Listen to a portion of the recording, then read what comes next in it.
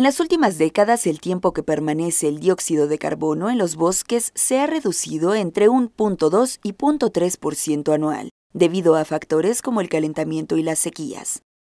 La investigación publicada por la revista científica estadounidense Proceedings of the National Academy of Sciences exploró la retención de este gas de efecto invernadero en 695 bosques de zonas tropical, templada y fría, mediante el programa de moderación climática Earth System Model.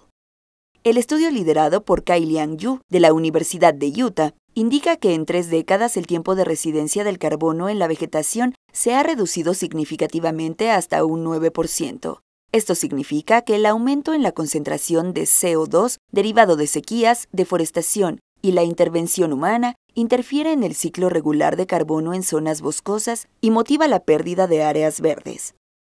Además, el aumento de CO2 atmosférico está inversamente relacionado con estos tiempos de residencia del carbono, que registran reducciones a medida que el CO2 atmosférico sigue aumentando. Los científicos utilizaron una base de datos de las tres zonas climáticas antes mencionadas, que abarca el periodo 1955 y 2018, con el objetivo de constatar las variaciones de carbono y las interacciones del ciclo dentro de los bosques concluyeron que las concentraciones de dióxido de carbono, las variaciones en las lluvias y la temperatura se correlacionan en la mortandad de los ejemplares arbóreos, específicamente de las zonas tropicales. Esto conducirá a un estrés por sequía. Significativamente, la mortalidad de las plantas está asociada con la competencia por los recursos limitados de agua del suelo.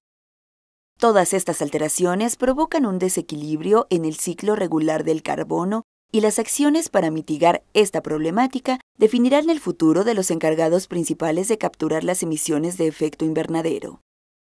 En la lucha contra la crisis climática, los árboles que se encuentran en los bosques de todo el mundo son una poderosa herramienta, ya que cada año absorben 2.500 millones de toneladas de carbono de la atmósfera.